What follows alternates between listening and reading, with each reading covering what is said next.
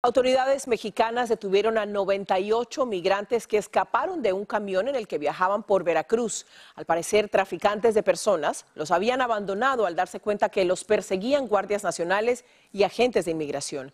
Alejandro Madrigal nos dice cuál fue el desenlace.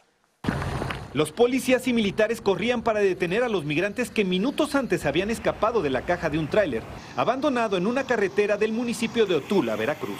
Lo dejaron abandonado el tráiler y pues encontramos a las personas, algunas inconscientes, algunas personas, como le comentaba, este, con hipertensión, diabéticas. No se ha podido precisar la cantidad de personas que viajaban al interior, pero se aprecia en la caja que tenía dos pisos, donde habrían ingresado cientos de migrantes y el sofocante calor y la falta de oxígeno los obligaron a salir por el techo y después saltar.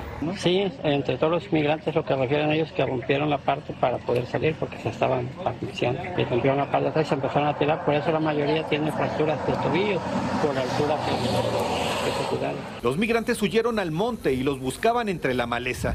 Otros no pudieron correr debido a las lesiones y algunos fueron auxiliados por paramédicos en el lugar. Pues posteriormente quisieron pues abandonar la escena, ¿no?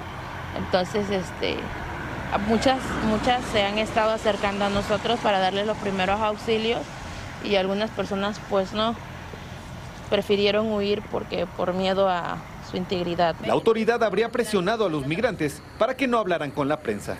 Solo a 93 migrantes los detuvieron y llevaron en camiones a una estación migratoria y 12 personas requirieron hospitalización. Los traficantes de personas usan ese camino para llegar a Nuevo Laredo, Tamaulipas, por toda la costera del Golfo de México. Se cree que esa es la ruta que habría tomado el tráiler de la muerte, abandonado en San Antonio, Texas. En Ciudad de México, Alejandro Madrigal, Univisión.